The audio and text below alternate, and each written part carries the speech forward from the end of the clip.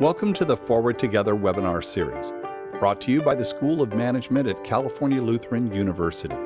The series is designed to bring interesting topics and people to our global community of students, alumni, and leaders in business and government to empower, educate, and inspire. Forward Together features experts from industry with the purpose to spark thought, connect people, and stimulate engaging discussions. Please submit your questions in the chat. We will hold a Q&A immediately following the presentation. Hello all and welcome to this webinar. My name is Sabith Khan and I'm the program director of the Masters in Public Policy and Administration program. Uh, before we start, I thought I'd give you a very quick rundown of what our program is. We are housed in the School of Management and we are we, we prepare uh, young professionals to serve uh, both the nonprofit as well as the governmental sector at the local, state, and federal levels. Uh, this is a quick uh, rundown of where our students end up eventually after graduation. Uh, next slide, please. In terms of the skills that you learn in our program, we, we train uh, professionals to enter public service as effective leaders with strong leadership and management skills, with the skills, requisite skills to do research and also conduct policy analysis uh, and more importantly, do all of this with an ethical perspective to have a lens of uh, trying to look at problems as a problem solving exercise uh, rather than just ticking boxes and doing what they have to do. And we are really geared to bridge this gap between theory and practice and have been around for many, many years and hope to serve the local community uh, in, in the decades to come. Next slide, please.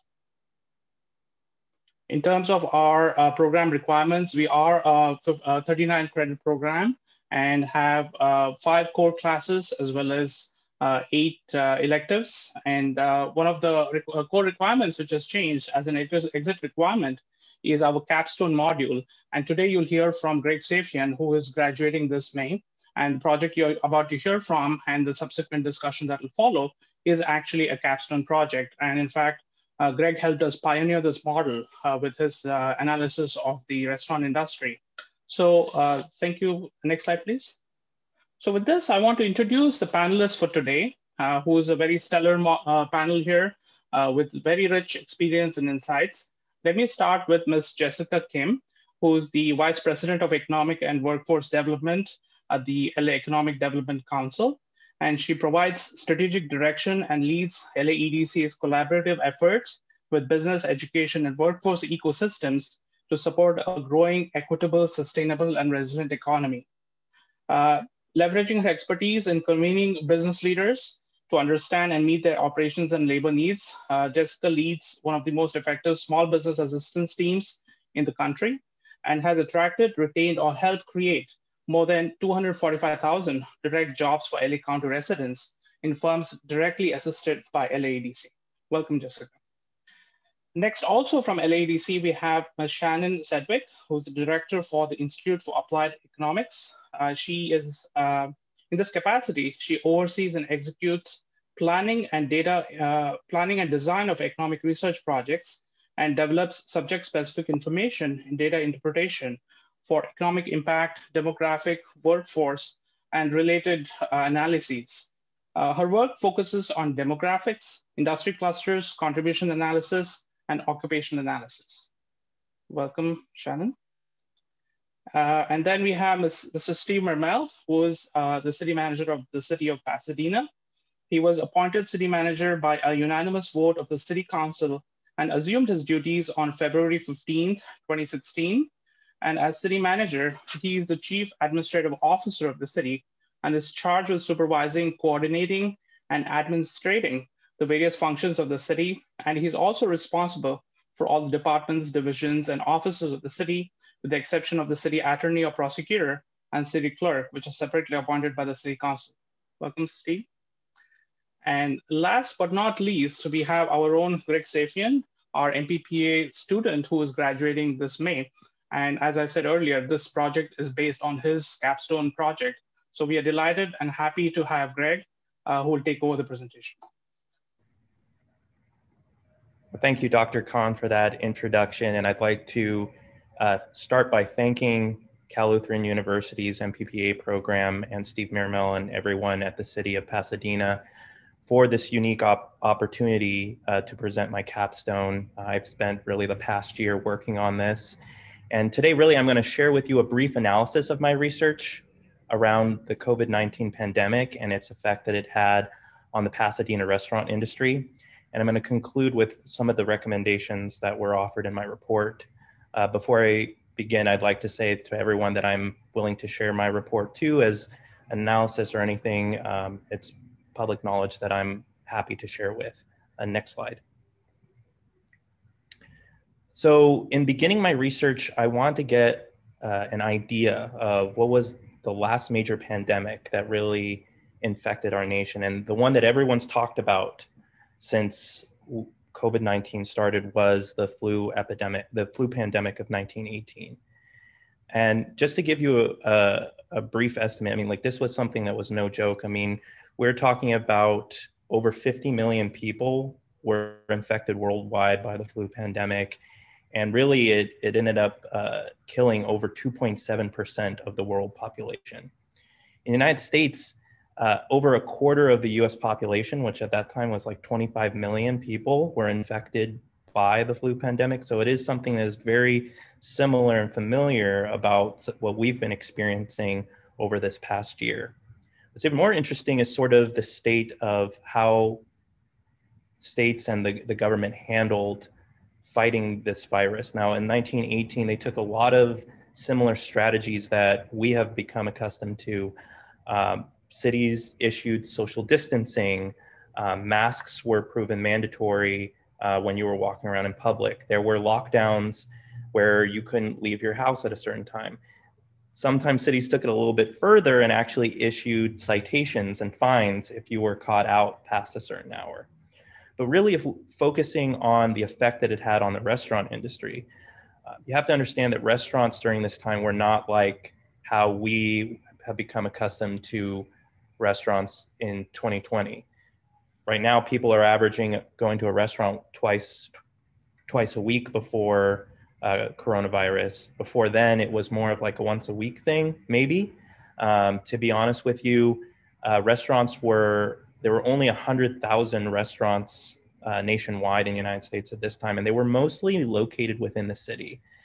And during this time, uh, they were really used uh, to feed workers. I mean, right now we're we're accustomed to having the ability to work from home and have the ability to zoom have Zoom calls like we're having right now. But in 1918, workers still had to go to work. If you worked at a factory, we weren't accustomed to having all the workers' rights that we had that we currently enjoy now. Workers still had to go to work, they had to eat, and sometimes they're getting off shifts at one in the morning and restaurants had to stay open in order to feed these people because they they didn't have the the luxuries to go home to a hot meal and really it was also a place of socialization like uh, restaurants still kind of remained open so that way people could still socialize or still be able to see other people because of the current state of how the lockdown was so that's that's really where uh, i started my research and getting an idea of how that how that virus impacted our, our nation, more specifically, how it impacted the restaurant industry. Next slide. So in starting my research, I want to focus on the specifics of these three main questions when I was thinking about how the restaurant industry was going to be impacted by the coronavirus. And just to give you an idea, I mean, I was very fortunate to uh, have Pasadena take part in this research because they have such a long, prominent history of being a hub of, of for restaurants. If you can believe it or not, they're actually credited for the birth of the cheeseburger. Uh, so they they have that that long history of uh, being a, a hub for restaurants. And uh, really, what I wanted to focus on is these three questions: is what was the impact going to be on the restaurant industry? What are the pain points for uh, the businesses during this time? And then lastly, based off that, what can we recommend moving forward to help the restaurants move through and survive uh, their businesses during the coronavirus? And I'd really like to credit um, Steve Miramel, uh, Paul Little at the Pasadena Chamber, and Eric Duyshart at the Economic Development Office for really helping facilitate these uh, the questions and whatnot that we put out. And the the research was really centered around speaking to restaurant owners, uh, Pasadena restaurant, uh, Pasadena residents through surveys. And uh, one thing I would like to preface before we start going into the results is that uh, these this data was really captured between August and September of 2020. So just coming out of, of summer right before the winter months. Next slide. So the first question that I, uh, this the first result is that um, I want to talk to the restaurant owners and really get an idea of uh, what was the impact. And as you can kind of see by the results, um, the the feelings by the restaurant owners were really somewhat discouraged and neutral about how their feelings were about how their businesses were going to survive. And uh, this was a really interesting and big data for when I was looking at this because the restaurant industry is such a important part of the Pasadena economy. I mean, the sales tax is a big component, and it's really the restaurant industry makes up a perfect trifecta of the retail, uh, hotels, and restaurants. Really make up a big portion of the sales tax that comes into the city. And even going into a deeper analysis and speaking to restaurant owners, the reason why this data showed uh, this discouragement really is because this was towards the end of the summer. Uh, we really had only experienced that first wave of the CARES Act that had come in through the federal government. Um, and really, uh, I think it, it came down to the consumers, and I'll explain that in the next slide. If you could go to the next slide the consumers as a whole also didn't feel all that uh, safe going back into restaurants. If you see, they were really concerned about the social distancing, um, the lack of uh, mask protection, human error, uh, sanitization, uh, uh, how clean the restaurants were. Uh, it was just a, a very scary environment for consumers to feel comfortable, not for pickup, but for coming back coming and sitting at restaurants. Now if you think about it for from a restaurant owner from what we've learned is that restaurant owners really rely on people coming in to eat at their restaurants but also the takeout orders. And takeout orders was really their main focus of business at this time but they were missing the in-person feel of consumers coming into the restaurant. And that was really a key uh, analysis of what I found of why there was that that neutral feeling, but also this uncertainty about how the future of their business was going to be. Go to the next slide, please. Um, and that led me to question number two: is what were the main pain points for restaurant owners? And aside from the uh, restricted table space, um, sanitization was just like a really big, uh, really big issue at this point. Now um, the table space too, mostly because during this time, LA County, uh, still going through the tier system during the August to September months, um, they still could not allow any indoor table space. Uh, this was actually a good credit to Pasadena because they were one of the first cities to issue the outdoor dining program. I'm sure most of you kind of saw in the news where uh, main streets were used for table space that kind of helped in this process. But as a as a key as a key pain point, they were still restricted by the overall capacity that they could have. They weren't having their normal level of uh, consumer base that they could come in with a full restaurant, and also um, just uh, there was just a limitation of how much they could serve at that time while remaining uh, to the health standards that we had through the CDC and also throughout the state. Uh, next slide, please. So this, in, in keeping all this in mind, um, the last thing that I wanted to use as a tool before I created the recommendations is what type of recovery programs were going to be needed. Um, obviously, the, the first thing that, that came off is relief packages. And as I stated, this was a time where the CARES Act was, was down, so uh, restaurants didn't have that normal flux of being able to have access to those funds through the state of California. You have to remember at this time, too, California was having to consider a lot of massive budget cuts because we were waiting to see on, on a budget being passed and also adding that extra flow of dollars into the CARES Act and a relief package was something they were really much in need for. The table zones and also um, just going down the line, waiving city fees and the workforce. Uh, but really, uh, before I got into my recommendations, um, I really wanted to work within the city. And to the city's credit, they did a lot. Uh, they really took this research to light when we were talking about the results. And the city of Pasadena really put forth um, a lot of relief packages of their own, not waiting for the, the state to kind of uh, have that money from the federal government. And uh, they put forth a lot of grants, a lot of micro grants. Uh, one of the big things, big elements that the city put forth um, was eliminating the fees for the dining uh, for the, for the sidewalk, um, so that restaurant owners didn't have to pay fees for having access to the sidewalk and having that extra table space. Um, the last thing, too, one of the very big hurdles that they put forth was um, a partial utility rebate, uh, which which issued uh, two years partial back um, from the city's surtax.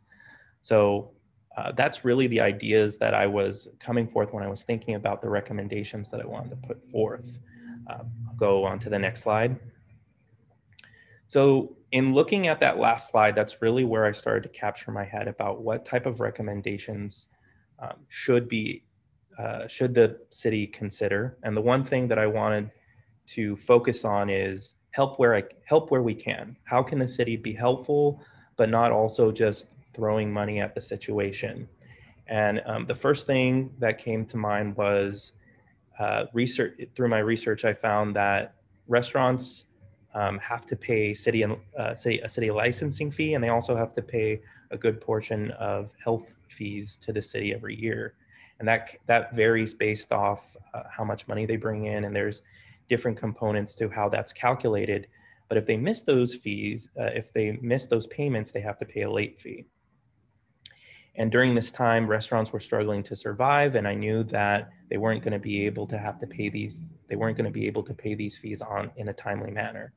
So, in waiving the late fees, it would give restaurants a little extra time to not only keep their businesses afloat and pay, pay their employees, but also have that ability to pay their regular licensing and health fees uh, when they could.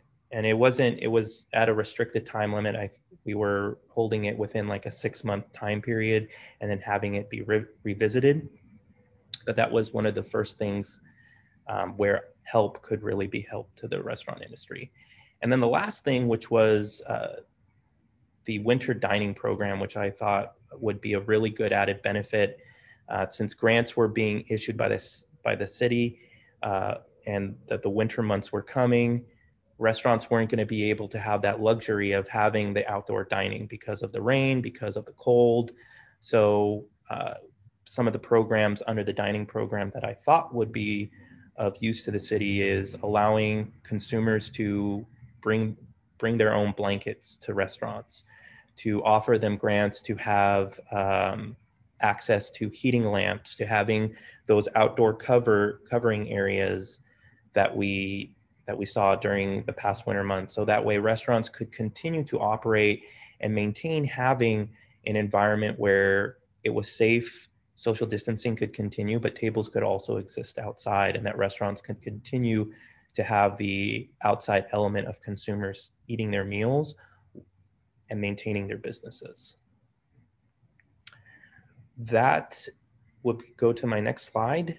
And at this time, I would like to invite the rest of the panelists to join me for a discussion.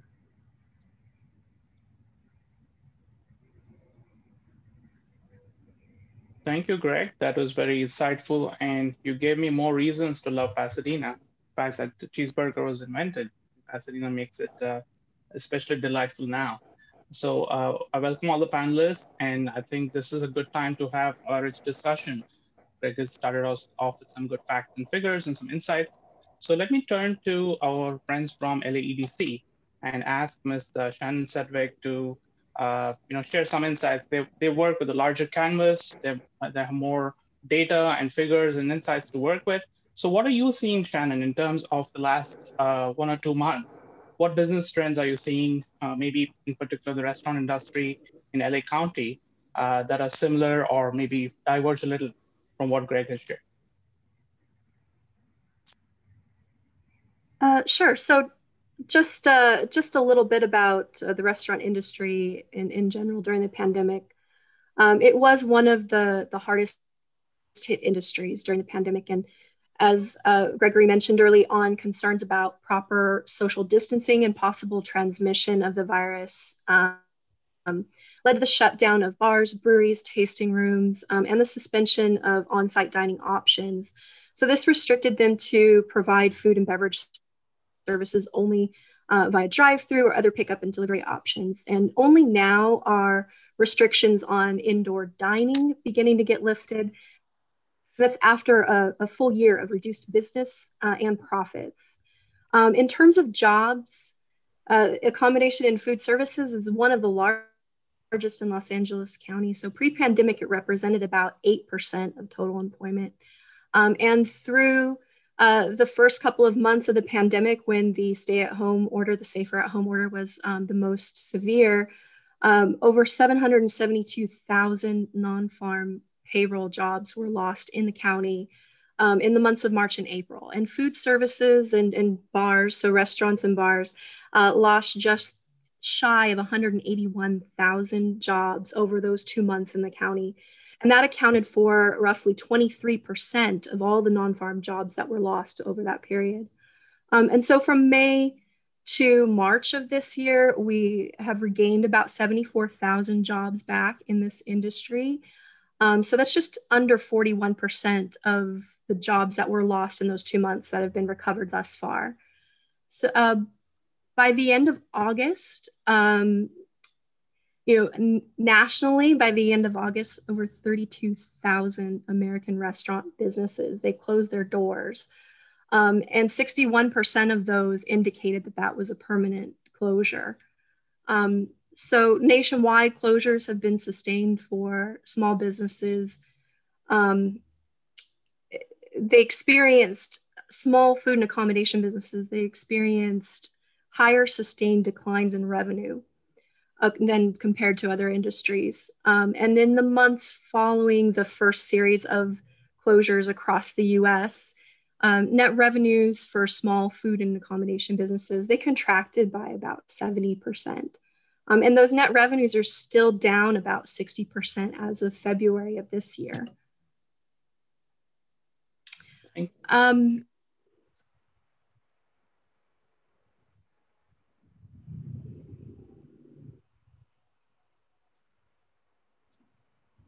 and restaurants had to pivot. So, what we did see was some resiliency in the industry as a result of these health orders. Um, and, and because they weren't able to operate on on premises, they expanded their off premises options. So, um, 67% of restaurant establishments they added curbside takeout. Uh, 27% added third party delivery services. So these were options that they were um, reaching out and adopting in order to shore up and, and kind of um, you know stop the hemorrhaging of those lost revenues.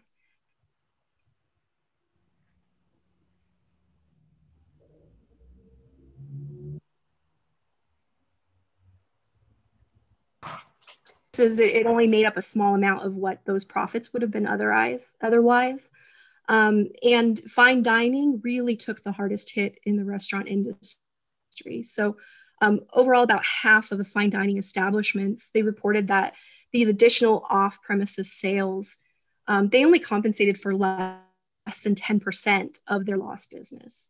Um, so in, in Los Angeles County, you're, you're asking about trends. Um, full service restaurants, they were definitely hit the hardest across the county.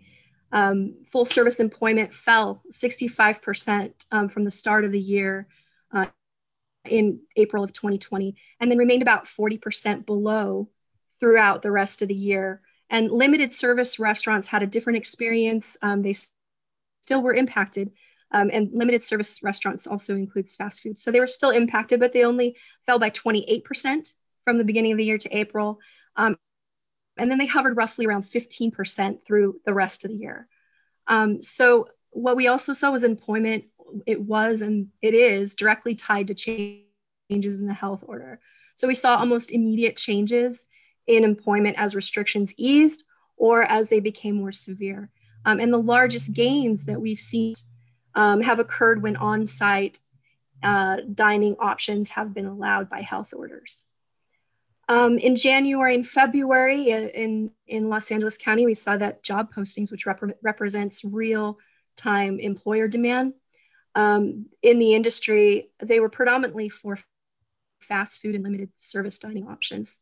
Um, we do expect that occupations tied to on site dining, such as hosts and hostesses, dishwashers, um, bartenders, and barbacks, that they'll um, and other wait staff, additional wait staff, uh, will represent more recent openings as LA County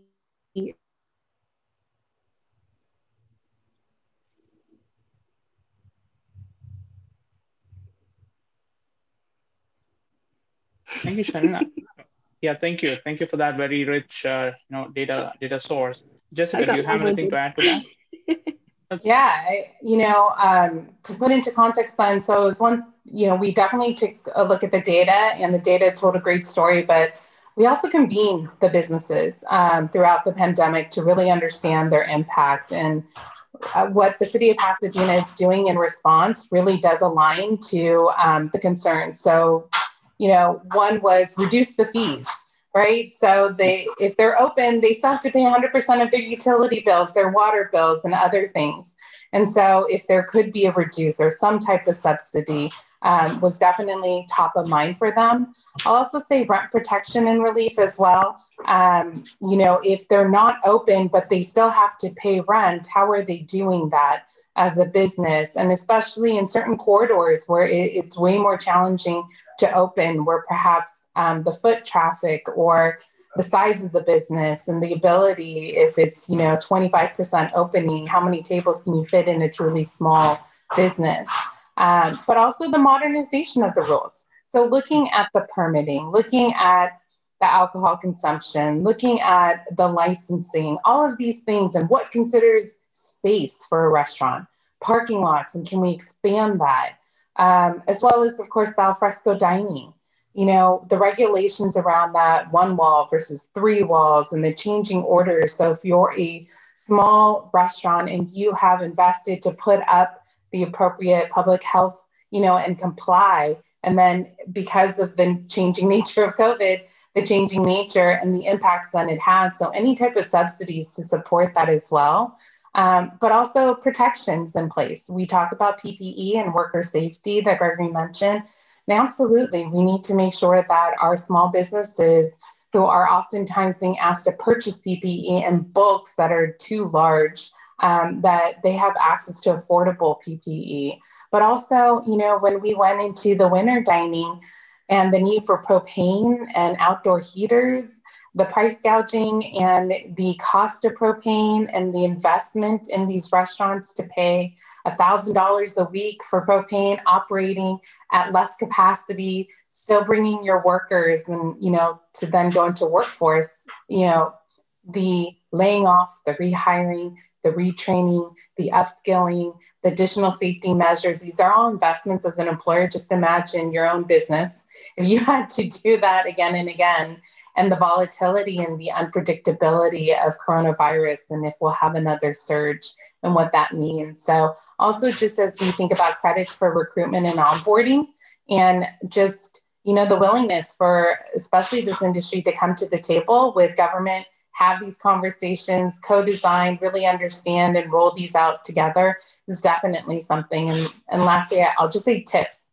You know, we, as we all know, um, hopefully you've also been generous as you've been dining out and and tipping but you know there are a lot of taxes and laws related to that and so we see cities like pasadena you know really take a look at a robot at the needs in a robust way and start tackling them as they make their investments but we'll also get federal investments that will come down. And so, how we meet these businesses who've been disproportionately impacted by COVID and their unique needs, because they do have higher health standards than most businesses. They have a lot of regulation that comes into play. And so, as we think towards summer, in the heat and we're turning off those heaters. And and now we're thinking how are we going to keep people cool? As we have alfresco dining and the tents perhaps or the shade that will be needed. You know thinking of these businesses as partners as we invest in policies and regulations and incentives and think about the other kind of ancillary things that they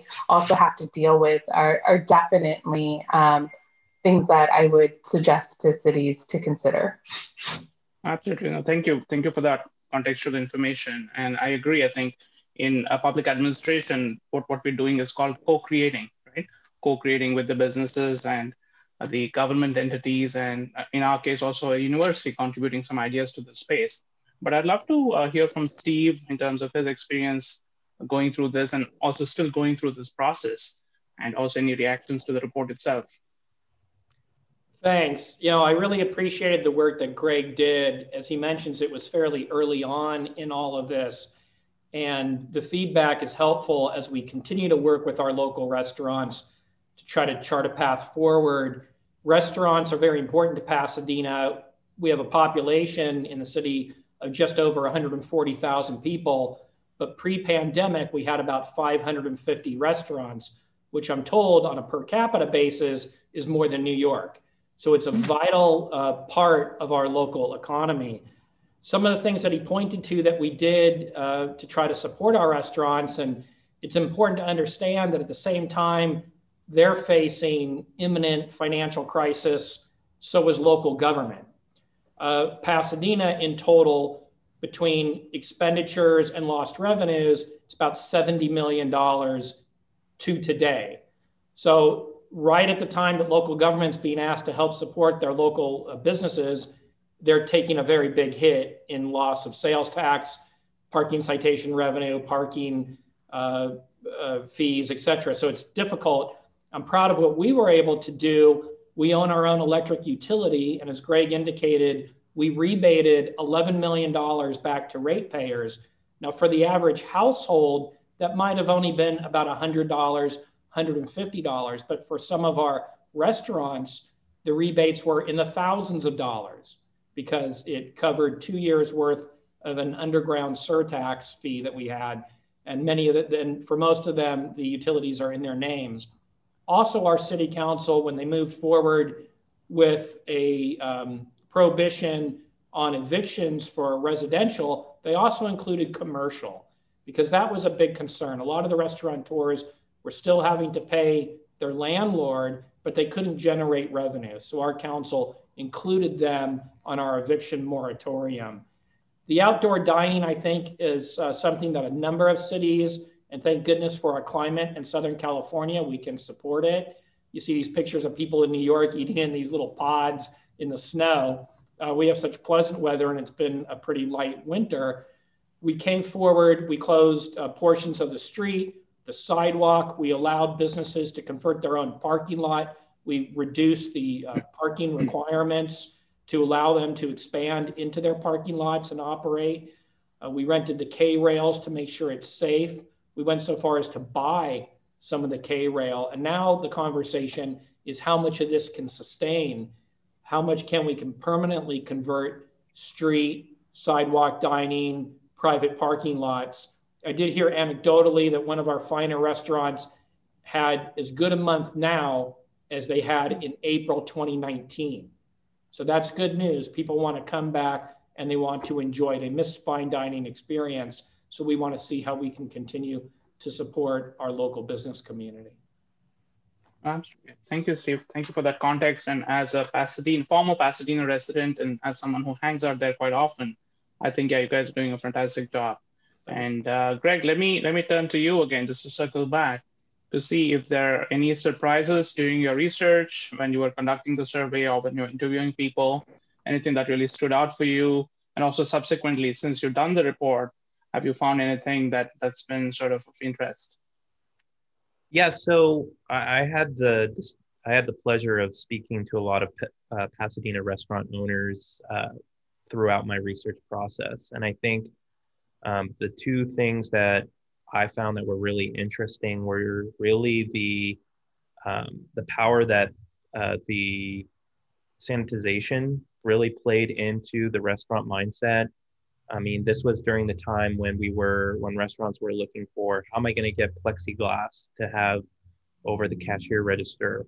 Um, how how much uh, Windex am I going to need to have, or like what type of chemicals can I have? How often are we going to have to clean the tables to make consumers feel a little bit more comfortable? I think one of the more interesting cases that I spoke to is uh, one restaurant owner actually like considered paying to have a fumigator come every week and just like blast the inside of his restaurant to like sanitize the whole place and then have it dry overnight and then have it like used again. So it was just really interesting to see the impact that's that how how the level of safety that restaurant owners were trying to get to.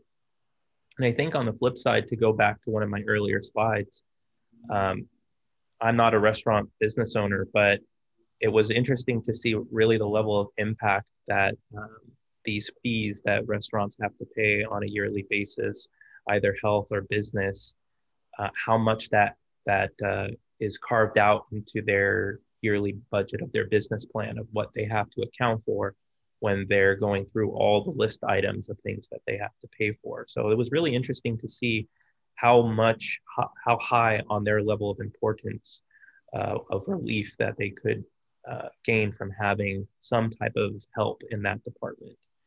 Um, I think in in continuing on in this research, the one thing that is so interesting and unique about Pasadena is that they have a very large mom and pop uh, dining sector.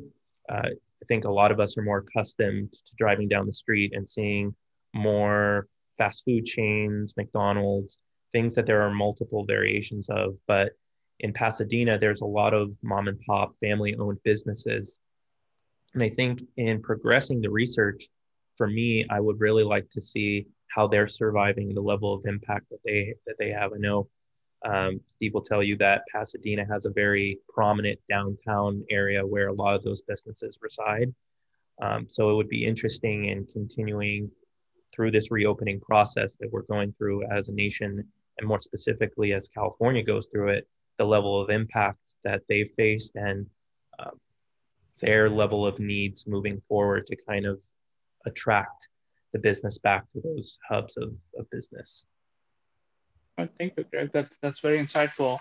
Um, and I think using that as a cue, let's talk a little about uh, the policies that the you know, local as well as state and potentially even federal government can put in place. We've seen a lot of action and also a lot of rhetoric around the policies that are needed, you know, in terms of tax rebates or, uh, you know, removing fees and giving, you know, a bit of leeway to the restaurants to spring back into action.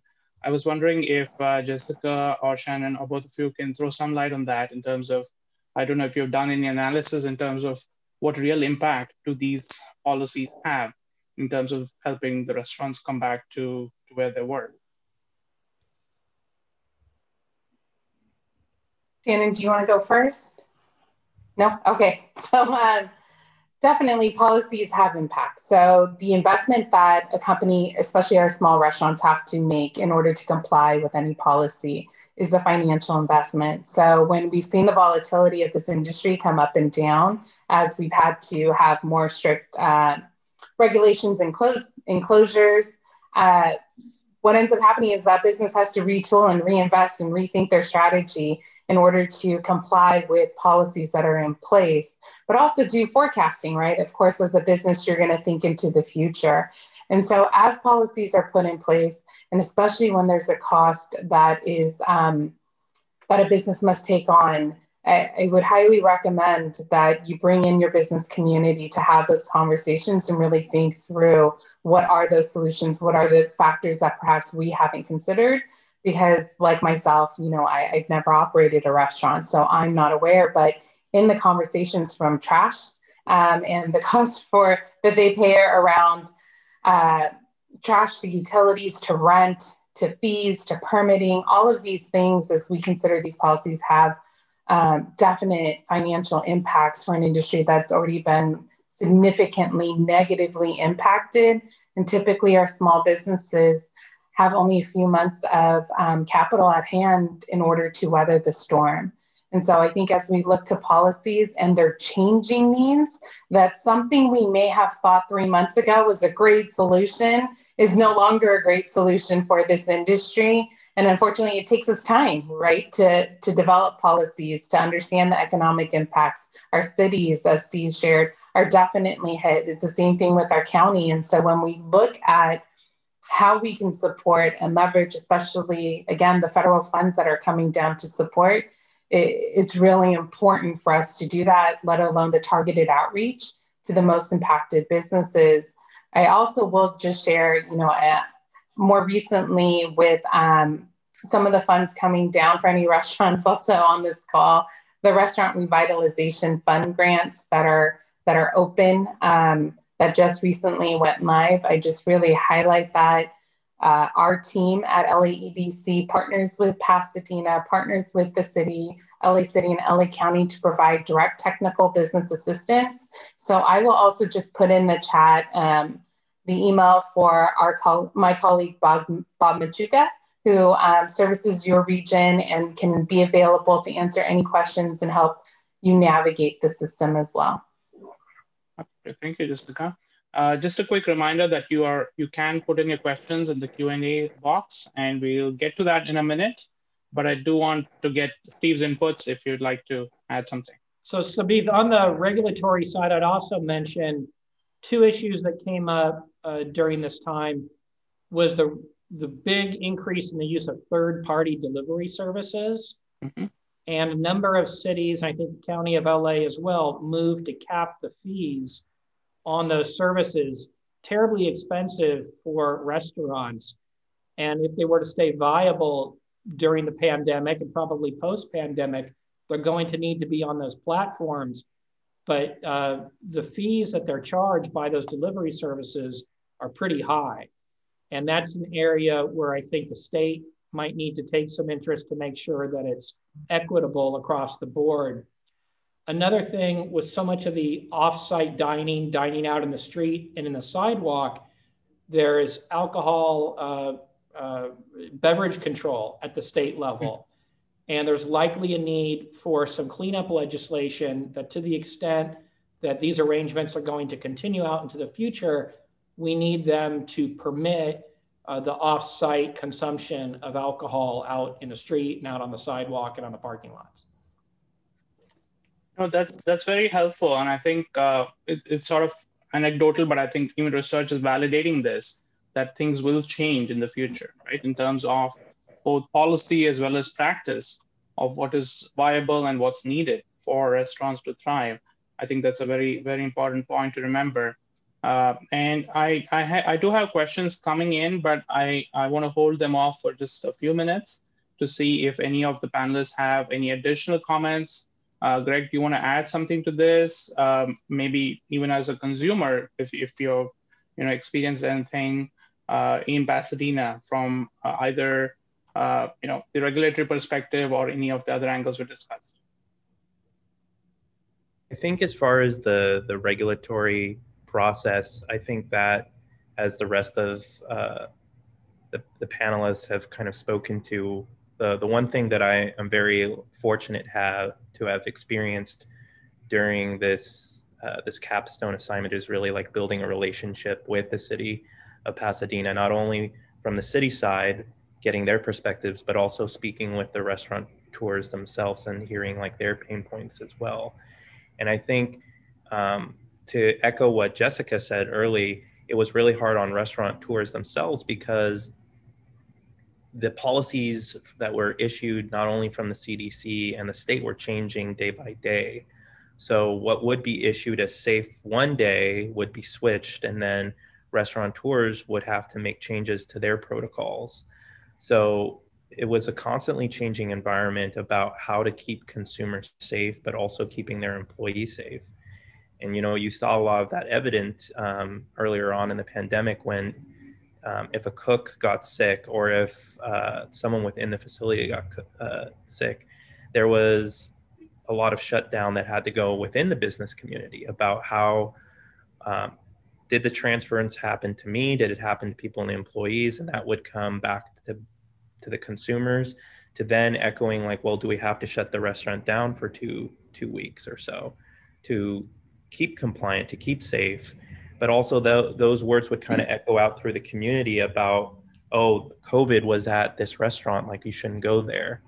So those were just some of the like little instances that I saw. But I think what the restaurant tours really gravitated towards is that the communication component. And I really would say being part of the team and having that ability to communicate, but also seeing the level of communication that the city was doing on a daily basis, uh, having open forums and all of that to keep them informed, helped them have a level of safety and security um, outside of their own financial investment that they had in their restaurant, but having that connection to the city and knowing that there was the ability to know how to stay compliant, but also that there was a light at the end of the tunnel for their business uh, really stood as um, a good level of uh, a good level practice that should be continued moving forward even after um, our our open up orders that we'll be having next month.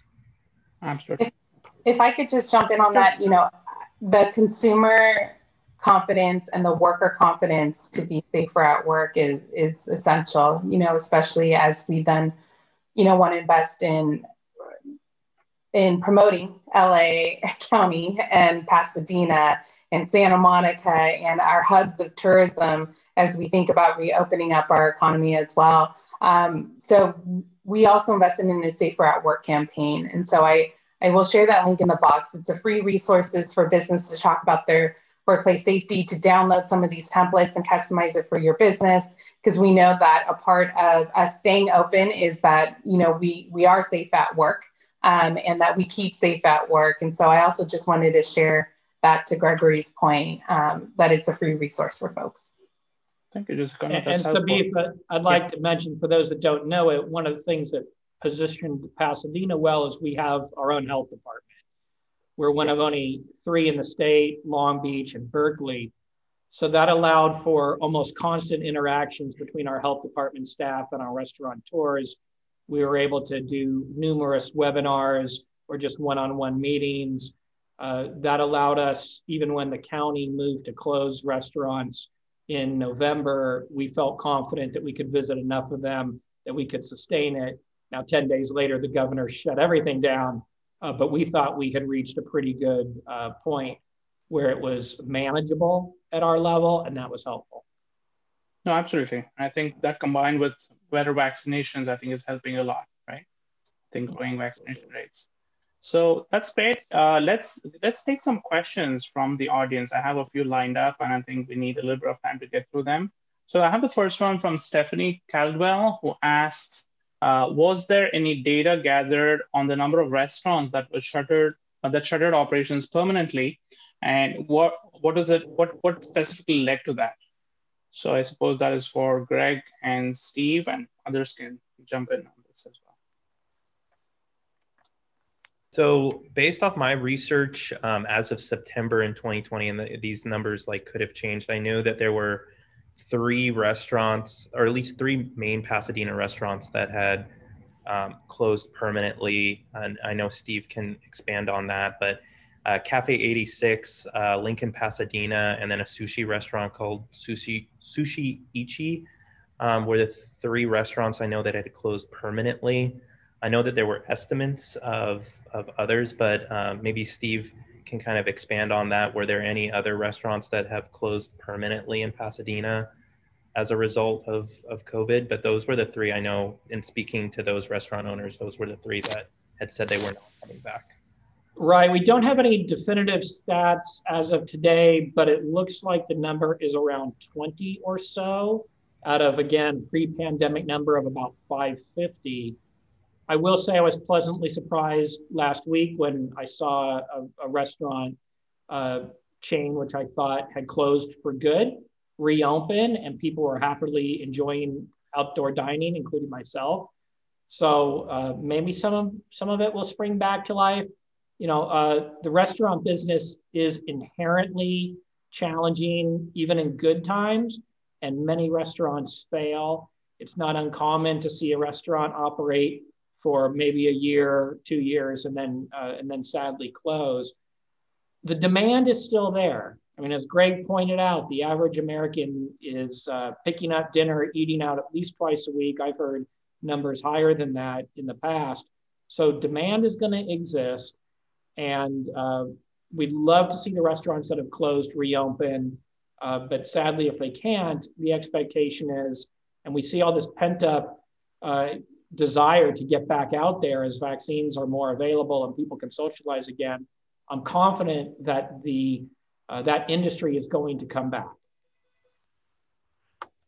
And in fact, I understand that some of them I've talked to have had difficulty getting workers. That that is an issue uh, because while the government has stepped in to help people during difficult times, oddly, it also creates a little bit of a disincentive for people to go back to work, knowing that they can stay at home, enjoy longer uh, benefits. Uh, and so some of the restaurants are struggling to find people. Absolutely. No, that's a good segue to our next question, Stephen. I'll actually keep you on the spot for this one as well which is uh, with closure of some restaurants, of course, there's also an opportunity for some other restaurants to open up.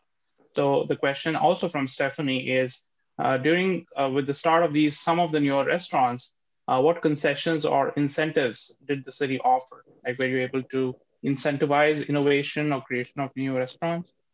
Sure. Well, again, I, I think maintaining areas of outdoor dining, which aren't exclusive to any particular restaurant, a more sort of common area is one way to help. Now, not every restaurant area is conducive to that, uh, but we've expanded our outdoor dining.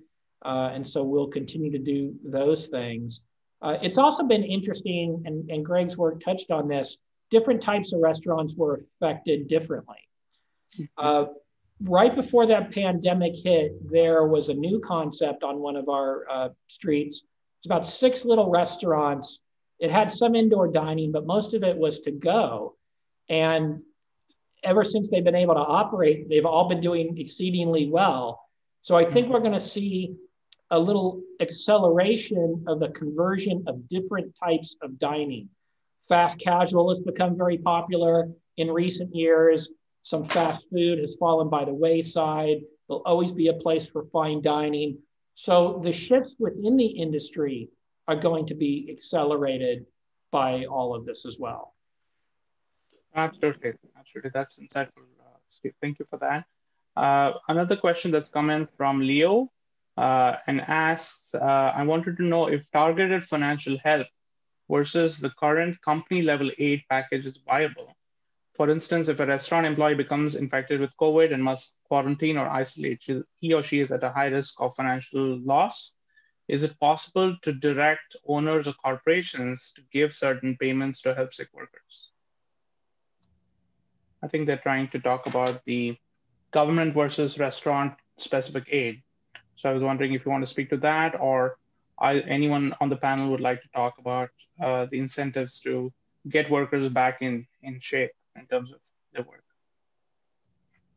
Well, you know, the CARES Act required uh, employers to provide up to 80 hours of sick leave uh, for employees. Uh, in, for the city, as an employer, that cost us about $3.5 million. Uh, and so far, it's essentially an unfunded mandate, but it is a requirement that employers provide that. Uh, so it's a bit of a mixed bag. It's good for the employee to receive it. It can add an additional burden to the employer. Sure. Sure. I can speak um, from the employee standpoint because I mm-hmm. actually had a lot of friends that work in the restaurant industry. And the way that it kind of worked earlier on when we're talking about this is March is that the employer um, for main chains or even like uh, one off chains would give employees um, the option to work or not work. Uh, one friend of mine uh, who works for Stacked said, um, you you're we're going to start opening back up in June. We'll be open for one month, which was like the extent of how long the CARES Act funding would have gone, a little over than that. And you know, you'd still get paid, but we don't know how that will be after the fact. And so, but you had to make an, a decision within like the first couple of days whether you're going to accept it or not. And if not, you go on unemployment, or if you do, you know, you you don't have the comfortability of whether or not you'll have a job after the CARES Act funding went away. So a lot of employees were kind of caught, like a lot of my friends were kind of caught between a rock and a hard place. I need to make money and keep myself financially stable, but I'm also afraid of the virus. And you're working in a restaurant, you're working with food, you're working with a, you know, close proximity with a lot of people. The transference is a huge fear, especially earlier on in COVID, was a huge fear in the restaurant employee sector. So a lot of people really just decided to take um, the the dive and like go on unemployment and kind of wait it out because earlier on we were expected this was to go away by Easter. Now looking at it now, almost over a year later, you know that's that's changed a lot. But the conditions that employees were kind of faced to be in was also a level of concern um, about making those tough decisions, unemployment, or you know putting yourself at risk. And even in some cases, um, throughout the county, uh, restaurant owners would send their employees home if they felt like they had COVID, and they they would get tested. If it was a negative test, a lot of the times they would just keep functioning as if nothing had happened. There were those protocols I know earlier on that we had, but if it was a negative test, it was like okay there's no there's no level of transference or anything like that in the eyes of the of the eyes of the owner. So let's just keep running as if uh, nothing's happened. Yeah i think these are tough decisions to be made i think at, at every level. Um, but steve uh, and jessica also uh, I'm, I'm wondering if uh, you know cities and states are of course having to think of creative ways of raising revenue. So i'm, I'm uh, also interested in hearing your thoughts in terms of balancing budgets and maybe finding creative ways to you know finance these sorts of projects.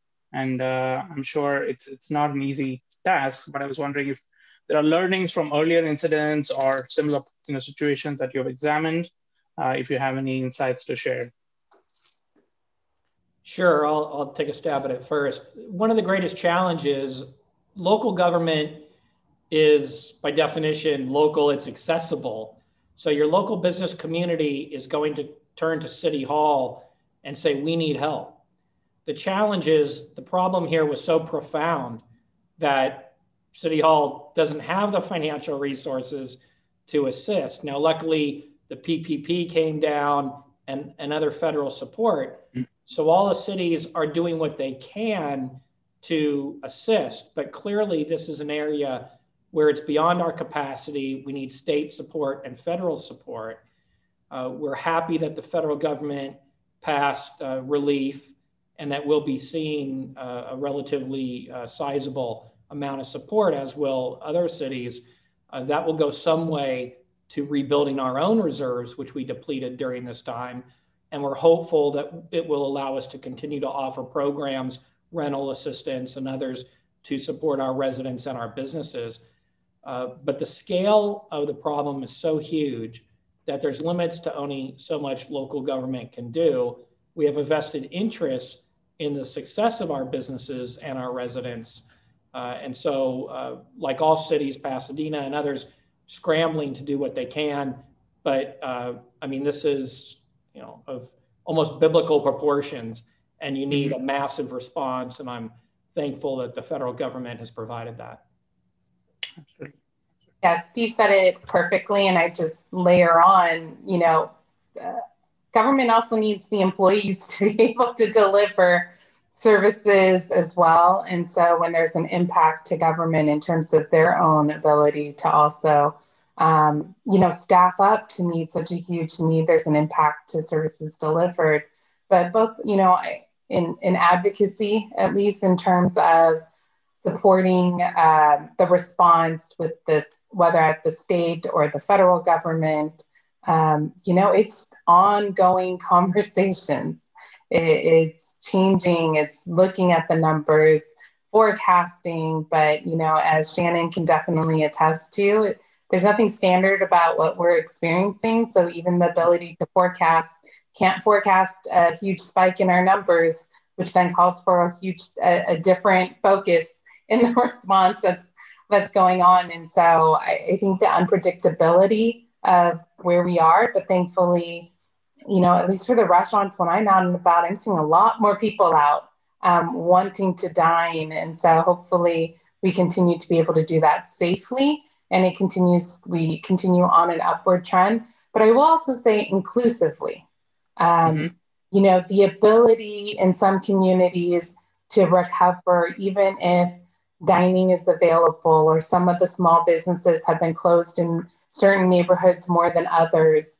Um, we also just as as a region need to think about our inclusive economic recovery, that how we think about the party of our resources, the targeting, the assistance, the voices at the table, that we're also just making sure that we're doing it in an inclusive way so that we're not also having a recovery that's for two different folks, two different communities, um, but that we as a whole can can leverage it to to close some of the gaps that we have in our region as well.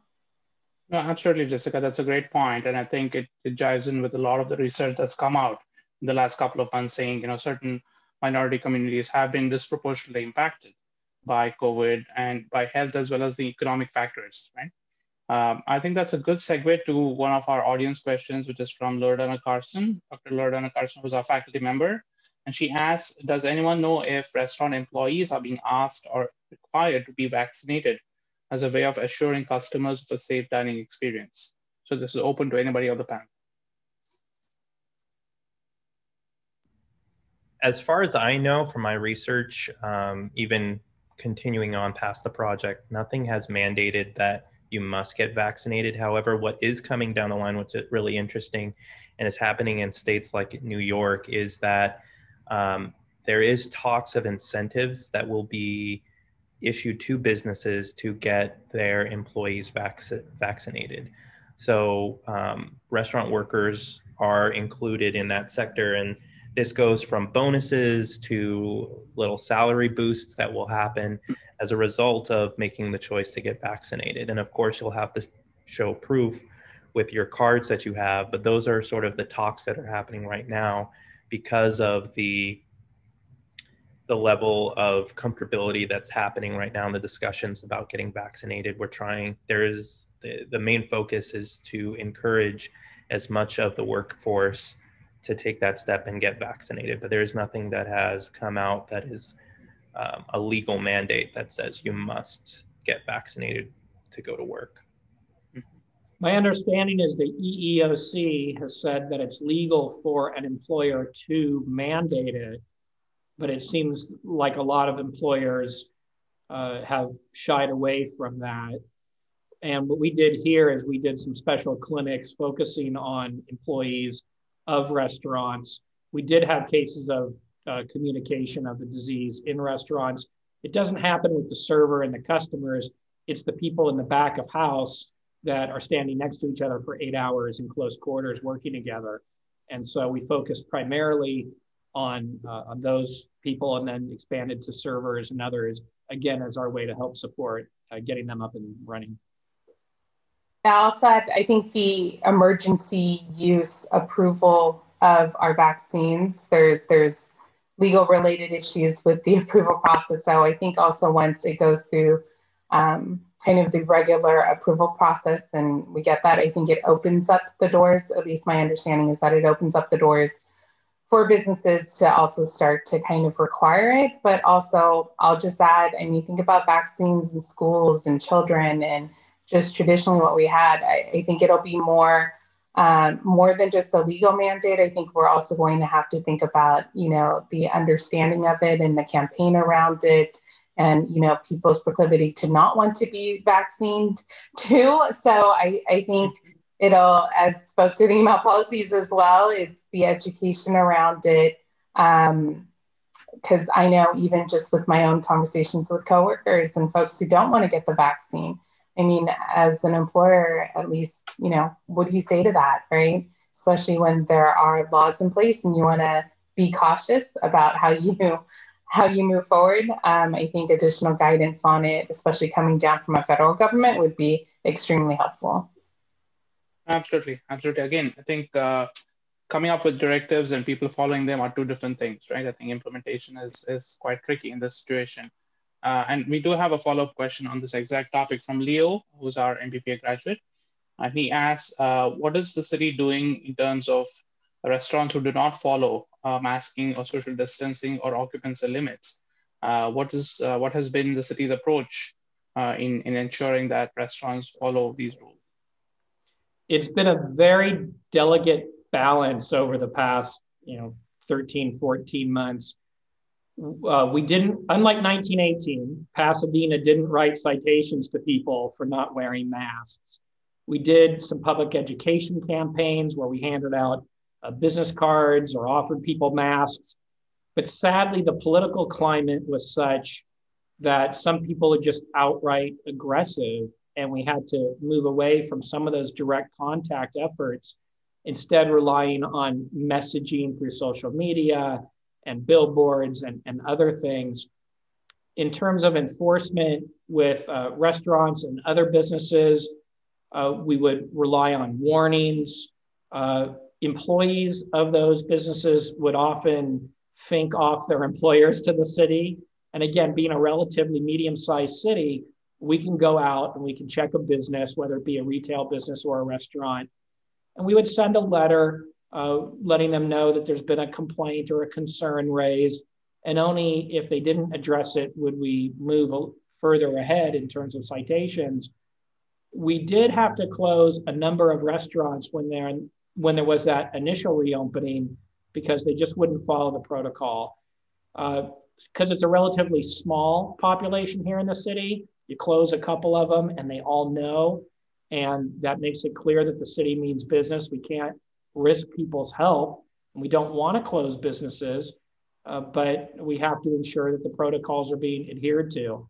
And even in those cases where we did close businesses, say on a Friday night, we were willing to have an office hearing with them on Saturday and Sunday, get them reopened. But the point is, they need to understand that they have an obligation here as well. And you know, 99% of all the restaurateurs were great. They understood. They don't want to harm their own business reputation. So they worked well with us. But it really was a delicate balancing act uh, throughout all this in terms of enforcement and you have members of your community who we all hear from who say you're not being hard enough. I saw a person walking around the Rose Bowl without a mask, go arrest them. To other people who say none of this is real, it doesn't matter, it's just a cold. What are you doing? You're being uh, overwrought. So, a tricky spot for all of us local government regulators to be in. No, absolutely, absolutely. I don't envy you for being in that situation, but I'm sure you've, you've grown wiser over the last 14 months. Certainly grayer. for sure, for sure. All right, folks, we do have uh, time for maybe one more question. If there's something that comes in, uh, we, we, can start wrapping up this very, very enriching and insightful webinar. Uh, any final questions, please type away. We do have a few minutes, but I do want to give the opportunity to any of the panelists who have any closing remarks, any reflections that they want to share before we wrap up.